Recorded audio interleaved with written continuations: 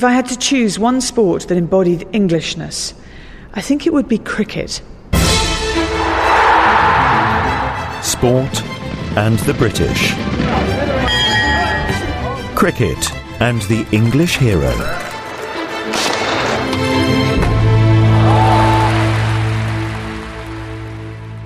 Last week we looked at how sport divides us by class, by race, by gender.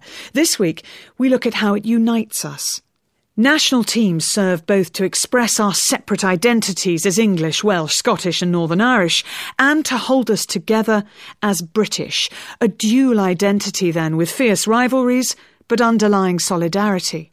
The hero is the key to understanding how sport shapes national identity.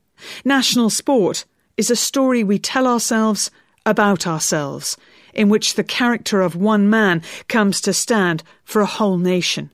So, what is the English story? Professor Richard Holt. In my view, there's two kinds of English hero. There's the old style country gentleman, the 18th century country squire, the John Bull ideal of the Englishman, the bulldog Briton. And there's the more reserved, clean shaven, decent, modest, stiff upper lip, public school boy, which becomes the general image of the Englishman in the 20th century. Cricket has two stories that embody these two kinds of hero. The first is W.G. Grace, the mythical, robust, and combative Englishman. And then there's the story of Jack Hobbs, an English everyman for the 20th century, the great opening batsman, modest, respectable, sober, church going, an ordinary man who could do exceptional things. I've come to Lord's, to the high ceilinged, hallowed long room with the view of the pitch behind me, and around me on these bluey, sea green walls, portraits of players and presidents from the past, and most imposing of all, the tall, bearded, wide girthed figure of William Gilbert Grace, W.G. Grace, in front of me with his red and yellow hooped MCC cap, and playing in what looked like brown brogues, which even more add to the effect of him being the archetypal Englishman. Cricket has come to represent an Englishness that transcends social classes and reflects more a demeanour, a manner of behaviour, and a sense of fair play. Coming down the steps from the long room to the edge of the pitch, you suddenly feel right. Now we're in the 21st century. There's the bubble like spaceship media centre at the far end, and you can hear the traffic of London whizzing by. But when you look at the history of, of cricket, it started very much as a country sport and it spread into Scotland and Wales and Ireland, yet it was England where it took hold most strongly. It was the introduction of the steam train, really, and the wider spread of the railway network that meant the game could tour the country. And word spread fast. Teams, particularly William Clarke's famous professional All England 11, became extremely well known. Certain individuals became nationally famous. Alfred Mynn, the greatest batsman before Grace, and then William Lillywhite, played in a top hat, and whose family went on to form Lillywhites in Piccadilly. From the 1860s, a new brand of cricketer emerged the public school gentleman amateur. This cricketer would be the blueprint for successive generations of future cricketers like Denis Compton and Len Hutton, for Hammond and Hobbs between the wars.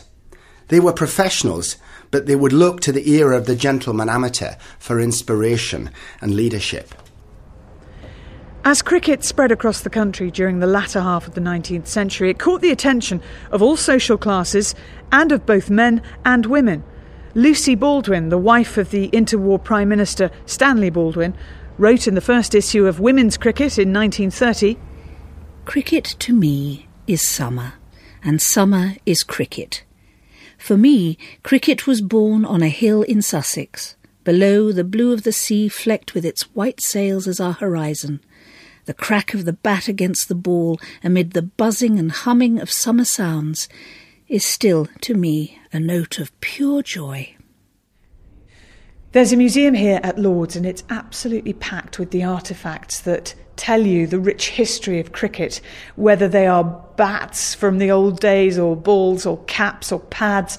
And in a glass cabinet, protected by an alarm, is the tiny urn that represents the zenith of English cricketing achievement. The ashes are here. And right opposite the ashes is the bust, just head and shoulders, of the most famous gentleman amateur cricketer, it's W.G. Grace.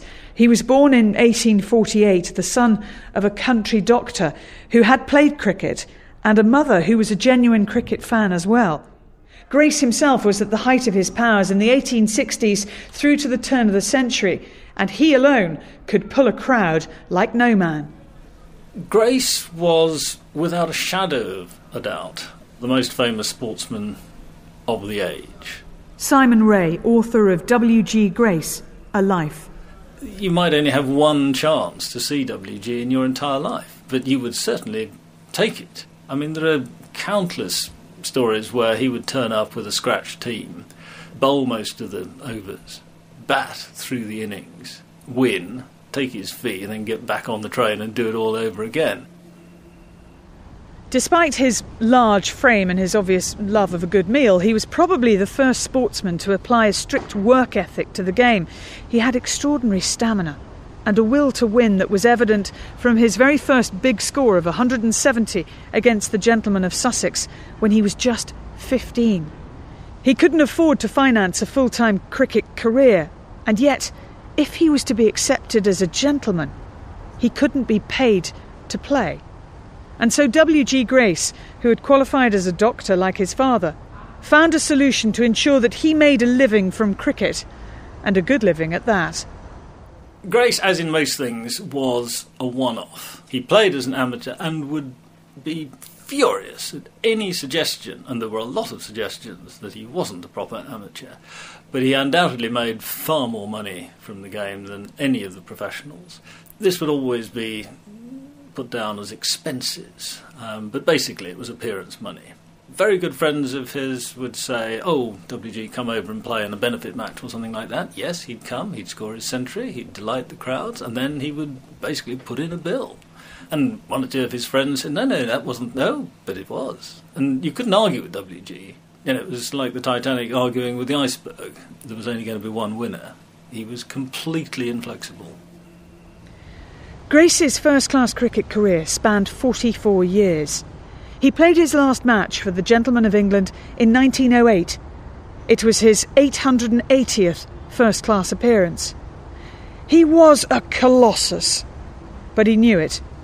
The late 19th century sports journalist Arthur Porritt wrote About Dr. W.G. Grace, there was something indefinable. A wonderful kindness ran through his nature mingling strangely with the arbitrary temper of a man who has been accustomed to be dominant over other men. W.G. Grace had become the first British sporting hero. He symbolised the rise of the middle classes. I've travelled across London from Lord's to the Oval, where the Hobbs Gates mark the career of a man who made his debut for Surrey in 1905 as Grace was bowing out. And here in the long room at the Oval, his portrait looks down a very different man in style and shape and size. He's got his hands in his pockets, his blazer looks a size too big for him, and his face doesn't have that air of dominance that Grace has in every picture you see of him. But Jack Hobbs also became a national hero, and he showed that the working classes could achieve success in sport. Albert Lawton, speaking in 1953, remembered that match when the two players faced each other. It's no use asking me to compare the two, Grace and Hobbs. In those days, with all his promise, I don't think that anyone who saw Jack could have dreamed that one day he would. No, wait a minute. Yes, perhaps there was one man. If there was, if anybody at all felt that here was someone who would eventually beat the Masters' records, it was very probably Dr. Grace himself. Jack Hobbs was held up as the model Englishman of the interwar period. The son of a Cambridge college servant, he was brought up on the fringes of the middle class elite. He was modest, reliable, and good humoured. He never swore. He drank only in moderation. He was a devoted family man, and he ran a successful sports business in Fleet Street. He was known as the Master. And in his honour, his friends formed the Masters Club in 1953, the year in which Hobbs was knighted. David Rayvern Allen, the writer and broadcaster, sums up the appeal of such a self deprecating superstar.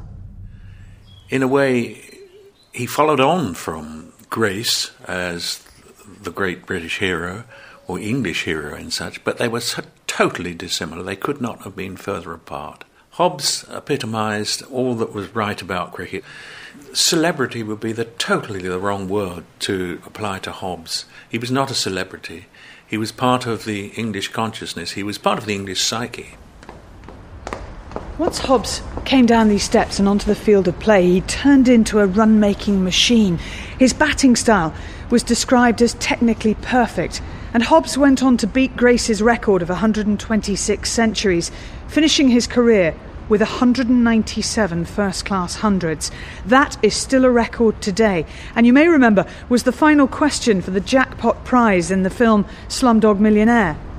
Hobbs adored the game of cricket and the life it had given him. From the days when I played second fiddle to that great batsman Tom Hayward, opening the Surrey County innings, I've remained in debt for ceaseless help from other players, and from spectators too. If I had to reply again to a question put to me well nigh 60 years ago, what would you like to be? The answer would still be the same, a cricketer. It's a grand life. I've come up to the roof of the pavilion stand and it's a fairly grim day. I'm afraid there'll be no play today, but you still get a great idea of the intimacy of this ground. And beyond the gas towers, I can see the flag flying above the Houses of Parliament and coming round to the right, I can see St Paul's through the chimneys and I can see the Gherkin as well. And it's a great viewpoint from which to reflect on the careers of two very different men. W.G. Grace and Jack Hobbs, because it was Hobbs that behaved more like the amateur in his demeanour, and yet he was the professional player. Grace behaved like a professional and earned more money than most of them ever would. And yet he was part of the era of the gentleman amateur. He was the great showman, the leader, with his larger than life presence. Grace defined a certain type of Englishman. In his slipstream came a very different hero whose modesty and honesty would define a new ideal of English manhood. Jack Hobbs showed that you could be quiet, determined, even low key, and still succeed. I'm standing right opposite the Test match special commentary box from where John Arlott would have given many ball by ball commentaries. He was also a poet, and he turned his verse to Jack Hobbs in honour of the master.